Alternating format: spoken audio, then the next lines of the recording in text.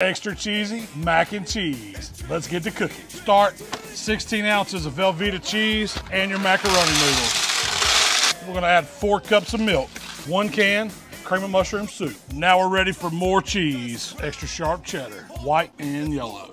All the cheese. You can't get too cheesy. Salt, pepper, garlic, two passes. Hot sauce, gotta kick it up. Ground mustard, just shake it down gives it a pop. Now let's take it to the pit. 350 degrees, we'll check on it in half an hour. After 30 minutes, take it off and stir it up.